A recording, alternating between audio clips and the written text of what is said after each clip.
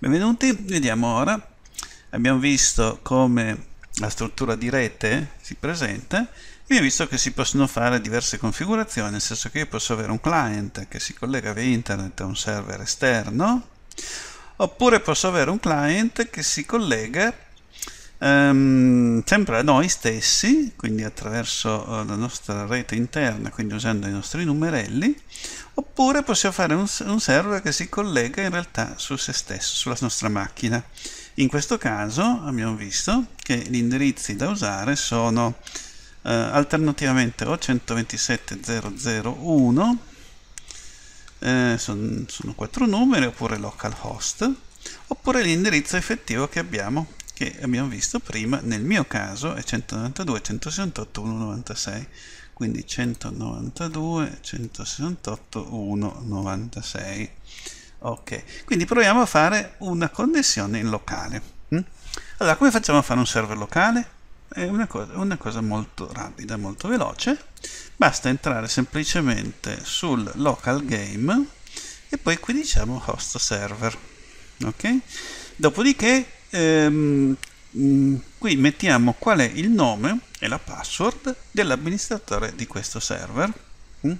quindi eh, mi metto una password per entrare e vedete che leggo l'indirizzo a questo indirizzo 127.001 e sulla porta 30.000 questo vuol dire che eh, chi mi chiamerà dovrà usare forzatamente questo indirizzo hm? Quindi 127.001 porta 30.000 allora cosa facciamo? quindi entriamo su un mondo qualunque che diventa a questo punto se facciamo host game io entro sono l'amministratore di questo server che vedete che è nuovo lavoro, faccio tutto quello che voglio vedete che essendo amministratore vabbè forse l'avevo già prima uh-huh. ok e quindi a questo punto ho il server in funzione poi faccio vedere se funziona. Escape butto giù. E ehm, in questo caso io ho abilitato anche la console. Vedete che è venuto fuori tutto questo discorso. Ma mh, mm, posso lanciare un'altra quindi faccio tasto destro sul mio main test engine tasto destro.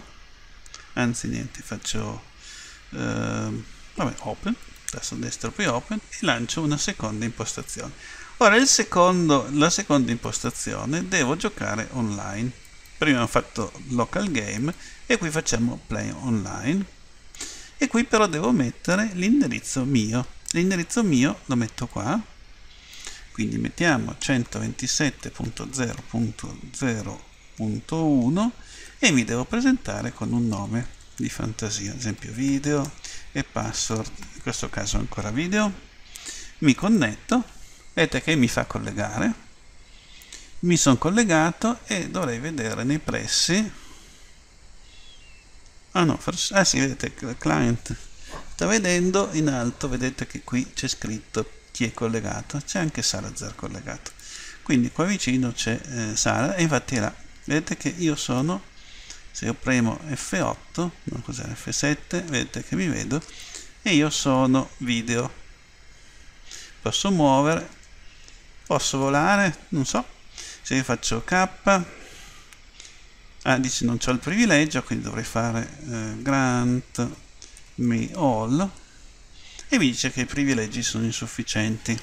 Quindi l'amministratore del sito dovrebbe darmi gli privilegi quindi cosa faccio faccio alt tab vado qui dove ero Salazar.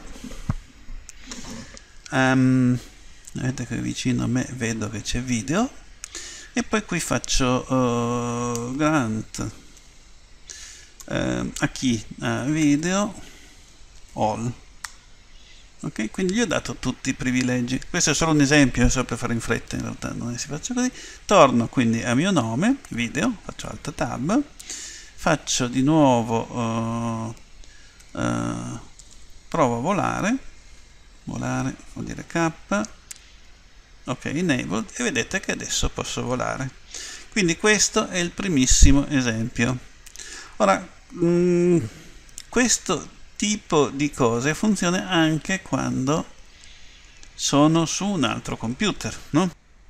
Ecco mm, dunque per avere un altro computer occorre o avere un computer fisico oppure eh, io ho fatto una simulazione nel senso che sempre nel mio computer ho creato tramite le macchine virtuali un, un altro um, computer che, abbia, che sia nella stessa rete. Quindi per essere nella stessa rete di questo deve avere uguali i primi tre numeri e per fare ciò ho aperto fondamentalmente un Windows 7 vedete e nel Windows 7 mh, mm, qui eh, ho messo quindi se voi vedete l'ho configurato in VMware in Data Bridged se faccio ipconfig che è il mio modo privilegiato 192.168.198 e se vi ricordate prima eravamo 1.96 mm?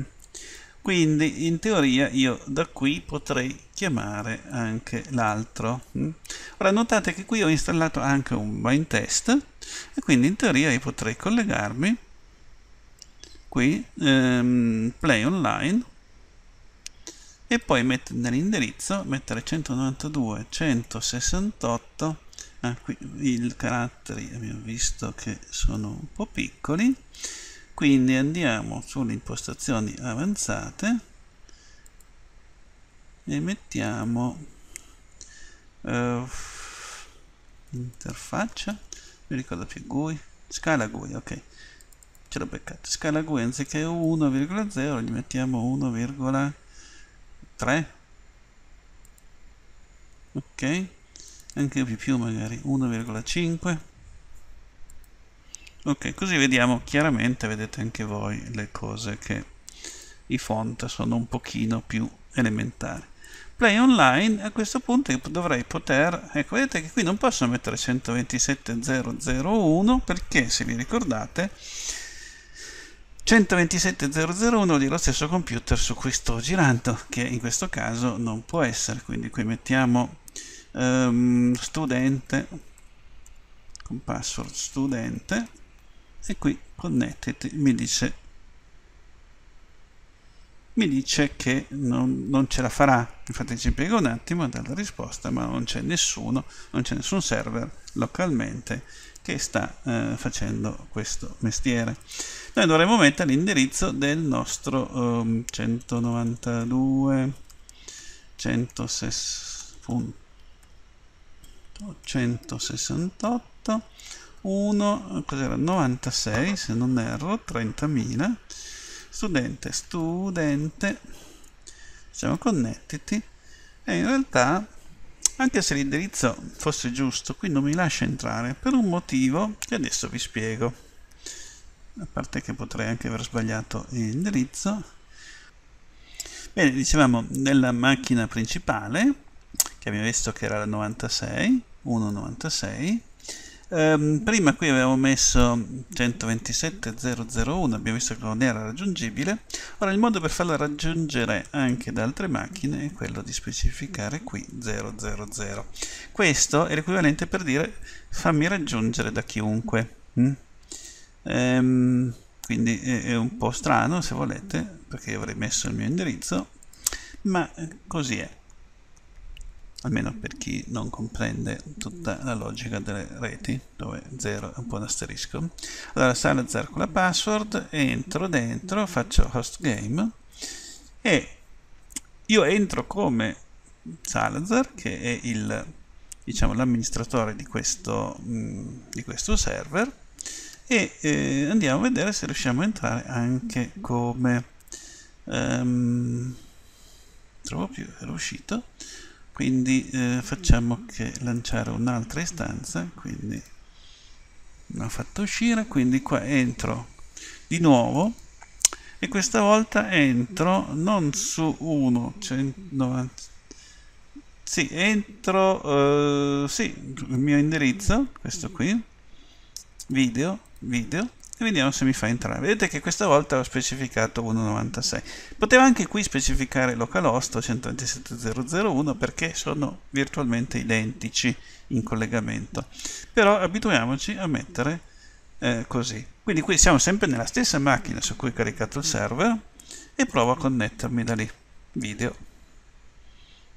Perfetto fatto. Vedete che sono collegato e sono sempre in modalità quella di prima ora andiamo però su una macchina diversa dalla mia. Quindi cosa facciamo? Andiamo qui l'ho simulata. Ok supponiamo che mi sia mosso e sia andato fondamentalmente su questa macchina virtuale. Ed è questa macchina virtuale ehm, è Windows 7 e se vado dentro l'ipconfig mi dice che sono 1.98 e mi collego all'1.96 ed entro come studente. Studente connettiti. Ed a questo punto entra. Quindi in questo momento sono collegato con tre avatar. Mm. e mm, vedete che c'è Salazar video e sono anch'io che eh, posso muovermi. Questo qui è un pochino più lento perché sono su una macchina virtuale ma il concetto è che sono entrato questo era solo per farvi vedere il meccanismo con cui si entra. Eh, se io poi esco dalla macchina virtuale e torno sulla mia macchina principale vedete che qui sono vedete che studente eh, joined e quindi in questa zona dove sono io che sono video vedo che c'è anche studente ed ecco studente che è lì.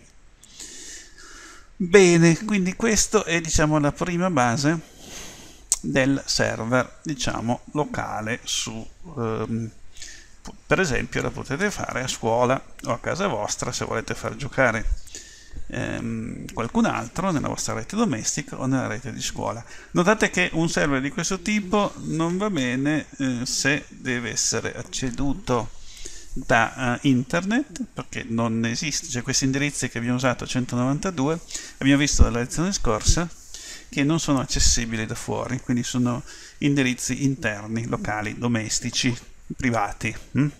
Se vogliamo oh, ottenere quell'effetto dobbiamo fare eh, delle cose molto complesse oppure affittare un server che è uno degli argomenti che vi farò vedere sempre in questa serie di video. Inoltre, un'altra cosa che manca moltissimo è proprio la configurazione del server in quanto tale, cioè un server che parte e non ha bisogno di avere un, um, uh, una, un avatar dentro. Mm? quindi che può funzionare diciamo anche in attesa che qualcuno si colleghi quindi per il momento è tutto ci vediamo al prossimo video in cui spiegheremo invece come ehm, lanciare il server in maniera ehm, unattended e con qualche accorgimento in più.